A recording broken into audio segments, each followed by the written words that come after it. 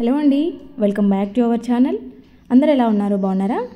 ఈరోజు వీడియోలో చాలా మంచి మంచి టిప్స్ అయితే అందరికీ కూడా షేర్ చేయబోతున్నాను. సో ఎక్కడ స్కిప్ చేయకుండా చివరి దాకా చూడండి.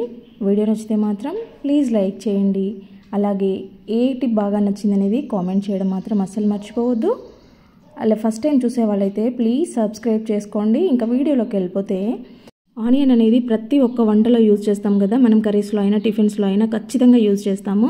సో ఇలాగా కళ్ళలో నీళ్ళు రాకుండా చాలా ఐదు నిమిషాలలో జరిగే పనిని ఒక నిమిషంలో అయిపోయేలాగా చాలా సింపుల్గా ఈ టెక్నిక్ యూజ్ చేయండి. మీ కళ్ళలో వాటర్ అయితే అస్సలు రావు. ఇక్కడ మిడిల్లో ఉన్న దాన్ని ముట్టని తీసేసి నెక్స్ట్ చాక్తో ఇలా చూపిస్తున్నట్లుగా ఘాట్లు పెట్టేసుకోండి. ఇలా ఘాట్లు పెట్టిన తర్వాత దీనిని అడ్డంగా కట్ చేసుకోవాలన్నమాట. ఇవి ఇలా చేయడం వల్ల ఏంటంటే చాలా తొందరగా చిన్న చిన్న పీసెస్గా కట్ అయిపోతూ ఉంటాయి. ఎక్కువసేపు మనం దీన్ని ఓపెన్ చేసి కట్ చేయం కాబట్టి కలలో వాటర్ అయితే అస్సలు రావు. మీరు ఎక్కువ ఆనియన్స్ కట్ చేసుకునే టైంలో ఇలా చేసుకోండి. మీకైతే ప్రాసెస్ అనేది చాలా సింపుల్గా అయిపోతుంది. ఇలా దీనిని పక్కన పడేసేయండి. అంతే అండి మనకి ఇక్కడ చిన్న చిన్న ముక్కలుగా ఎంత ఈజీగా ఎంత ఫాస్ట్గా రెడీ అయిపోయాయి చూడండి. అదే మనం మామూలుగా ఓపెన్ చేసి కట్ చేస్తే చాలాసేపు పడుతుంది. కళ్ళలో వాటర్ వస్తూ ఉంటాయి. ఎక్కువ ఆనియన్స్ కట్ చేసినప్పుడు చాలా ప్రాబ్లం అవుతుంది కదా. ఇలాగ నెక్స్ట్ టైం ట్రై చేయండి. ఇంకా నెక్స్ట్ వచ్చేసి పిల్లలకైతే ఇలా మనము ఫ్యాంట్లు తెచ్చినప్పుడు వాటికి కొన్నిటికి ఆటోమేటిక్గా వాళ్ళే బెల్ట్లు ఇస్తూ ఉంటారు కదా. సో ఆ బెల్ట్లు అయితే కొన్ని కొన్ని యూజ్ చేస్తారు కొన్ని కొన్ని యూజ్ చేయకుండా పక్కన పడేస్తూ ఉంటారు.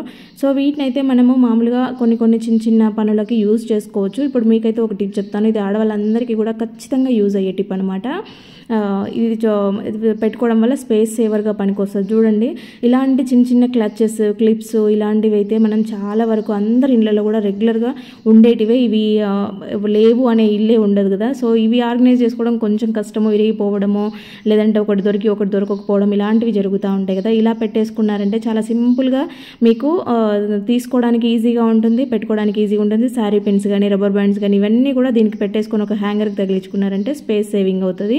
నెక్స్ట్ వచ్చేసి మనం ఊరగాయ పెట్టుకునే డబ్బాలు కానీ లేదంటే అల్లం వెల్లుల్లి పేస్ట్ పెట్టుకునే డబ్బాలు కానీ స్మెల్ వస్తూ ఉంటాయి. ఈ ప్రా ఇది మనం ఎంత నీట్గా కడుక్కున్నా కూడా ఎన్నిసార్లు కడిగినా కూడా స్మెల్ అనేది అయితే అస్సలు పోదు. ఇంకా ఊరగాయ డబ్బాలు అయితే అంత జిడ్డుగా మాగుడు వాసన ఒక రకంగా వస్తూ ఉంటుంది దాంట్లో వేరే ఏమైనా స్టోర్ చేసుకున్నా కూడా అంత బంక బంక అనిపిస్తూ ఉంటుంది. సో ఇంకా అల్లం వెల్లుల్లి డబ్బాని అయితే ఇంకా అసలు ఇంకా దేనికి యూజ్ చేయలేము. ఒకసారి వేసామంటే. సో ఇంకా దానికోసం అయితే ఆ వాసన పోవడానికి ఇలాగా రెండు మూడు బిర్యానీ ఆకులు తీసుకోండి. దాంట్లో కొన్ని లవంగాలు వేయండి. ఇక్కడ ఇవి వీటి నుంచి వచ్చే ఘాటు స్మెల్ అనేది దాన్ని పోగొట్టుతుందనమాట బిర్యానీ ఆకుని కాల్ చేసి దాంట్లో లవంగాలు కూడా కాలేలాగా అన్ని మిక్సింగ్ లాగా పెట్టండి. ఇలా లవంగాలు కూడా కాలాలన్నమాట. వీటి నుంచి వచ్చే పొగ వలన ఈ వాసన అంతా లేకుండా వెళ్ళిపోతుంది అనమాట ఈ పొగని డబ్బా కాలేకుండా జస్ట్ మా మిడిల్లోకి పొగ వచ్చేలాగా మాత్రమే పెట్టుకోండి. ఇక్కడ చూడండి డబ్బాలోకి అంతా కూడా పొగ వెళ్ళిపోవాలన్నమాట. బాటిల్లోకి వెళ్ళిపోయినప్పుడు దాంట్లో ఉండేదంతా కూడా స్మెల్ వెళ్ళిపోతుంది అనమాట చూడండి ఇక్కడ బాటిల్లోకి పొగ వచ్చేసింది కదా. సో ఇలాగా మీరు ఇంకా పొగ బయటికి వెళ్ళిపోకుండా అలాగే మూత పెట్టేసుకున్నా పక్కన స్టోర్ చేసుకున్నా సరిపోతుంది. డబ్బాలు ఫ్రెష్గా ఉంటాయి. ఇంకా నెక్స్ట్ మనం ఏం స్టోర్ చేసుకున్నా కూడా మంచిగా ఫ్రెష్ ఫీల్ ఉంటుంది అనమాట ఆ స్మెల్ అయితే మొత్తం వెళ్ళిపోతూ ఉంటుంది. ఆ అల్లం వెల్లుల్లి పేస్ట్ స్మెల్ కూడా రాకుండా ఉంటుంది అనమాట ఇంకా నెక్స్ట్ వచ్చేసి ఈ రోజులలో ఎక్కువగా ఫేస్ చేసే ప్రాబ్లం గ్యాస్ ట్రబుల్ కదా. గ్యాస్ ట్రబుల్కి ఎక్కువగా మనం సోడా లాంటివి యూజ్ చేస్తూ ఉంటాము. ఆల్రెడీ మన కడుపులో ఉండేదే గ్యాస్. మళ్ళీ మనం గ్యాస్నే ఇస్తూ ఉంటాం. సోడా తాగడం అయితే అస్సలు కరెక్ట్ కాదు. ఇంకెప్పుడు అలా ట్రై చేయకండి.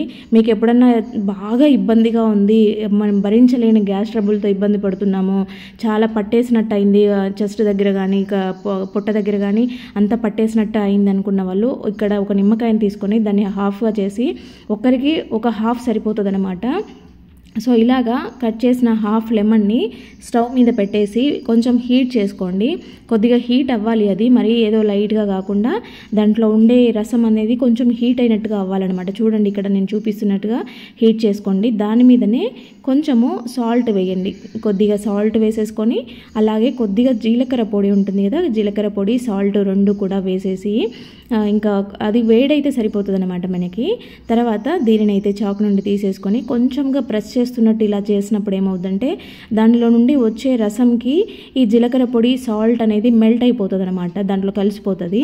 సో ఇలాగా దీనిని మీరు డైరెక్ట్ కడుపులోకి తీసుకోవచ్చు. అంటే దీని జ్యూస్ని మీరు డైరెక్ట్ మింగేయచ్చు. లేదు మేము ఇంత పులుపు తీసుకోలేము అనుకున్న వాళ్ళైతే వేరే ఏదైనా గ్లాస్లో వేసుకొని కూడా మీరు తాగొచ్చు. ఇలాగ తీసుకోవడం వల్ల మీకు వెంటనే రిలీఫ్ ఇస్తుంది అనమాట మీరు సోడా తాగిన దానికన్నా కూడా తొందరగా రిలీఫ్ ఇస్తుంది. సోడాని మాత్రం అస్సలు యూజ్ చేయకండి గ్యాస్ ట్రబుల్ ఉన్న టైంలో. ఇలాగ ట్రై చేయండి. మీకు ఈ నిమ్మకాయ అవైలబుల్ లేకపోతే మజ్జిగని తాగండి. జీలకర్ర ఉప్పు వేసుకొని మజ్జిగ తాగండి. అదైనా కూడా చాలా బాగా వర్కౌట్ అవుతుంది కాకపోతే ఇంకా లెమన్ ఉంటే మాత్రం ఇలాగే చేయండి. ఫాస్ట్ రియాక్షన్ అనమాట గ్యాస్ ట్రబుల్ ఎంత ఉన్నా సరే మీకు పోతుంది. ఇంకా దీన్ని రెగ్యులర్గా యూజ్ చేస్తే కనుక ఇంకా అసలు ఆ ప్రాబ్లమే లేకుండా మీరు హ్యాపీగా ఉండొచ్చు. ఇంకా నెక్స్ట్ వచ్చేసి మనకి ఇంకా వర్షాకాలంలో కానీ చలికాలంలో కానీ పిల్లలవి బట్టలు సాక్స్లు యూనిఫామ్లు అయితే రెగ్యులర్గా వేసుకుంటూ ఉంటారు కదా. సండే రోజు తప్పించి ఇంకా మిగిలిన రోజంతా యూనిఫామ్తోనే ఉంటారు. ఇవైతే ఇంకా మనకి ఒక వాతావరణం చల్లగా ఉన్నప్పుడు వాన పడినప్పుడు బట్టలు అయితే ఆరకుండా ఉంటాయి. ఆరకపోతే స్మెల్ అయితే గలీజ్గా వస్తూ ఉంటుంది. పిల్లలు వేసుకోవడానికి కూడా ఇబ్బంది పడుతూ ఉంటారు. సో ఎప్పుడైనా మీకు బట్టలు ఆరలేదు ఇవి కొంచెం మందంగా ఉంటాయి కాబట్టి టైం తీసుకుంటాయి. మనకి ఇంకా వాతావరణం బాగాలేని టైంలో ఆరవు కాబట్టి సో ఇలాగ ట్రై చేయండి. మీకు అవి సాక్స్లు కానీ అండర్వేర్స్ కానీ బనియన్స్ ఇలాంటివి లేదంటే ఫ్యాంట్లు అయినా సరే ఆరకపోయి ఉంటే కనుక ఇలాగ ఇది పెట్టుకొని బొక్కల గిన్నెలో స్టవ్ ఆన్ చేసి పెట్టుకోండి. ఎందుకంటే దీంట్లో నుంచి మనకి హీట్ బయటకు వస్తుంది కాబట్టి చాలా తొందరగా అయిపోతుంది అనమాట ఇంకా వాషింగ్ మిషన్లో వేసినవి అయితే డైరెక్ట్ ఇలా పెట్టేసుకొని కూడా మీరు యూజ్ చేసేసుకోవచ్చు. వెంటనే కూడా బయట ఆరేసే పని కూడా లేకుండా అంత బాగా ఇది డ్రై అయిపోతాయి అనమాట ఇలాగ ట్రై చేయొచ్చు. టీ షర్ట్స్ కానీ జీన్స్ కానీ ఏవైనా మనకి ఇంకా కంపల్సరీ అప్పుడే వేసుకునేటివి అనుకున్నవి వేసుకోండి. ఇక్కడ చూడండి ఈ బట్టలకి హీట్ అనేది వచ్చేసి మొత్తం కూడా డ్రై అవుతాయి అనమాట పిల్లలు వేసుకున్నా కూడా నీట్గా ఉంటాయి.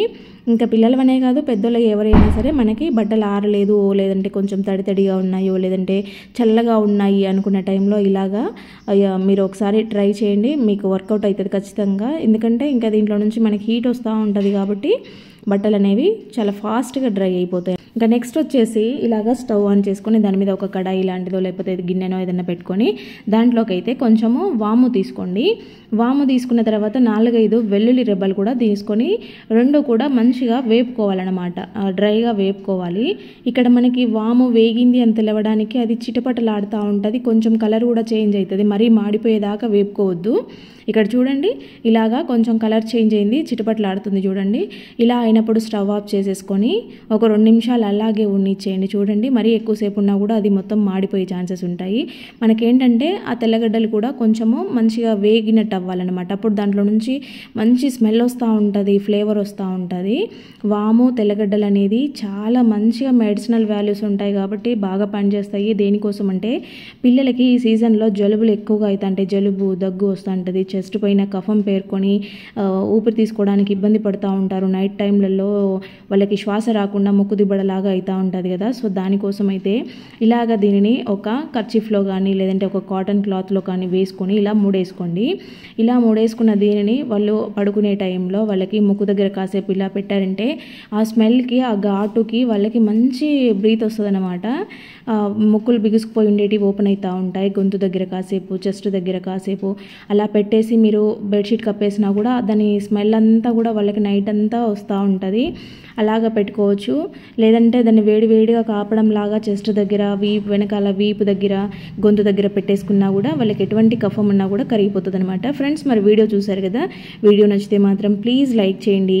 అలాగే ఏ టిప్ బాగా నచ్చింది అనేది కామెంట్ చేయడం మాత్రం అస్సలు మర్చిపోవద్దు. ఫస్ట్ టైం చూసే వాళ్ళైతే ప్లీజ్ సబ్స్క్రైబ్ చేసుకోండి. ఓకే అండి? Thank you for watching